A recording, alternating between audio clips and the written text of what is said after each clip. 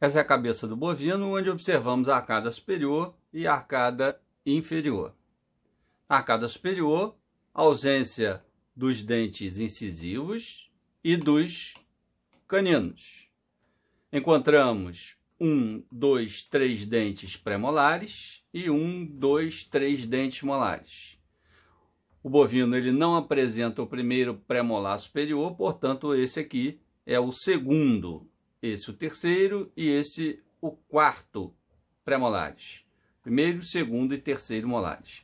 Na arcada inferior, observamos quatro incisivos inferiores a cada lado, um nessa posição, que é o segundo pré-molar inferior, o terceiro e o quarto, o primeiro, o segundo e o terceiro molar. O bovino ele não apresenta o primeiro pré-molar inferior. Então ele identifica o segundo, o terceiro e o quarto pré-molares. Primeiro, segundo e terceiro molar.